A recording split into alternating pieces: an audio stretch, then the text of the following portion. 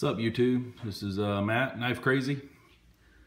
Got a uh, quick KME video for you today. I get a lot of questions and you see a lot of, uh, not just to me, but just to the group. Uh, another shout out for uh, Edge Snobs. It's on Facebook. It's a uh, knife sharpening group.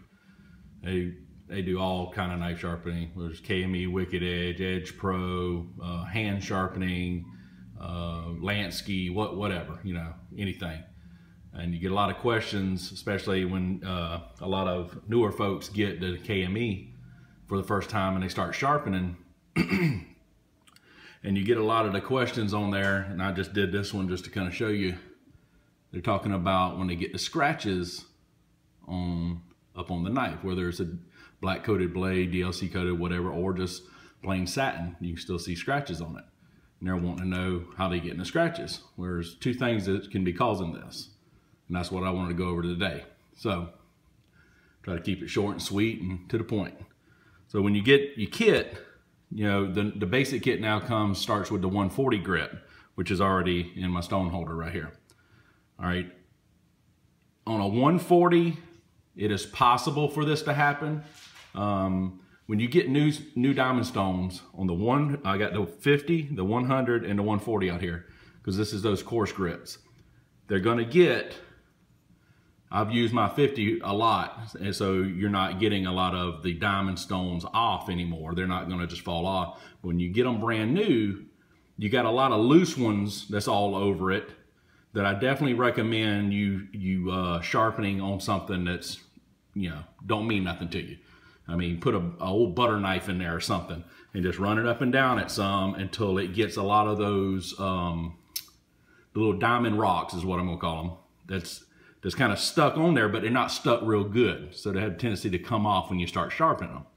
So what's happening is, you got your brand new stone in here, you put it in your, uh, your stone holder, you put it on your clamp, and you start going, and when you start sharpening it, the rocks tend to come off. And back there between the blade and the stone itself, in between, some of them little rocks will get on there. That's what I'm gonna call them, little rocks. And as you're going up and down, those little rocks are puddling up here. And uh, I'll go over another thing in a minute is why I do sharpening dry only. I don't use oil or water for this reason. Is even a long time ago when I started out um, sharpening with the KME, um, I was getting some blades that was scratching. And that's back when I was using oil and water. So you get your slurry back here when you're using oil and water and it's mixed in there with all the little diamond rocks, okay? And as you're going up and down, these little rocks are going up and down with your stone because they're collecting underneath there. So that's where you're getting your little scratch pattern from on your blade, okay? As you see on that knife blade, if you're going up and down and there's one little one little pebble back here that's just going up and down, up and down, that's going to scratch your blade. So that's why if you're gonna use uh, water or oil, especially when you got a new stone, you just about need to wipe it about every time you make a pass or two to get any possible slurry that's mixed with any kind of, you know, bigger stone. You know, your 600, your 300, 600, 1500 grit, they're so small, you're, you're not gonna have that problem. But the, the bigger stones on the newer ones are gonna come off. So it's gonna end up scratching your blade.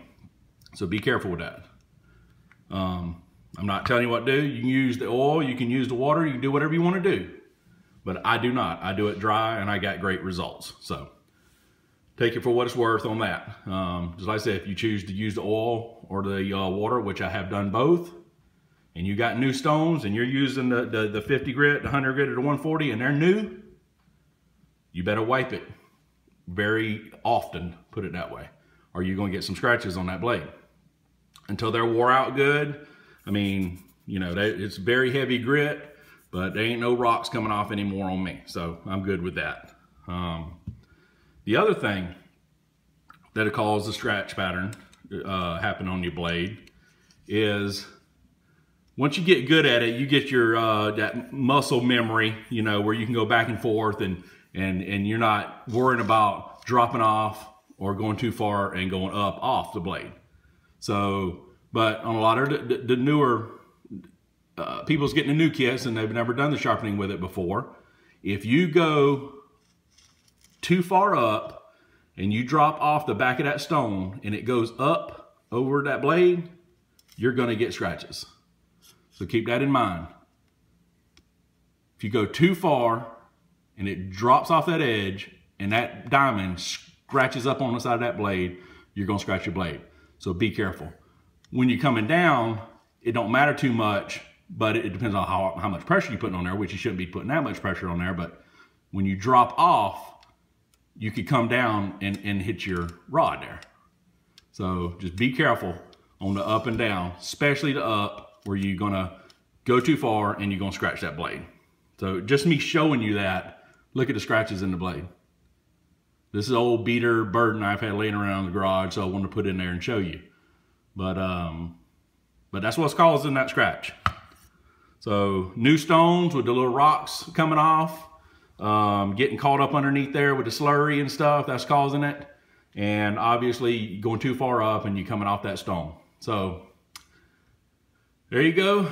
Um, thanks for watching. I'm almost at uh, 500 subscribers. I appreciate it very much. I just thought I'd share that with you.